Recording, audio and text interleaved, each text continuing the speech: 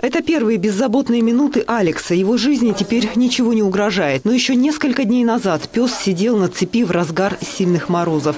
Неравнодушные люди освободили его и согрели. У собачки сильное истощение, у собачки были отек лап, а, видимо, переморозил, отек мордяшки и вот у нас страшный отит. Ну и, конечно же, собачка в ужасном состоянии, это видно. Кота Жорика нашли на парковке. Еще пару часов на морозе могли стать для него смертельными. В клинике заверили, кот нуждается в экстренной операции. У него обнаружили опухоль головного мозга. Необходимую сумму волонтеры собрали всего за полчаса. Собрали почти 150 тысяч, но вот 110 тысяч ушло только на операцию, плюс МРТ, плюс обследование дополнительно, плюс стационар. Ну, ушла большая сумма достаточно. Неравнодушные люди спасли и эту собаку. Ее щенки погибли, будучи еще нерожденными. Животное прооперировали и назвали звали Чирик. Ей продолжают оказывать необходимую помощь и ищут новый дом. Сейчас все еще в клинике, должны капаться антибиотики и все необходимые препараты.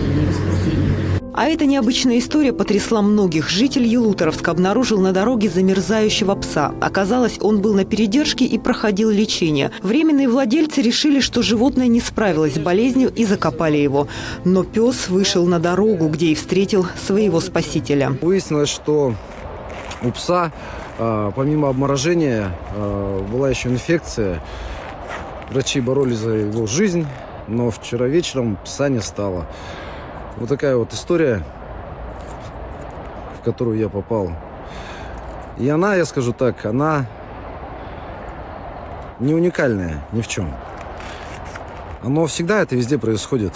Просто надо смотреть вокруг.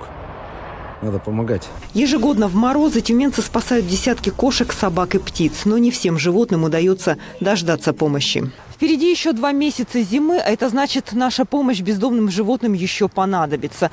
В морозы без еды и тепла смерть у собак наступает через 15 часов, у кошек через 6. Чтобы спасти бездомное животное, его необходимо накормить и пустить в тепло, а лучше забрать домой и любить. Мария Ремезова, Алексей Безделов, Тюменская служба новостей.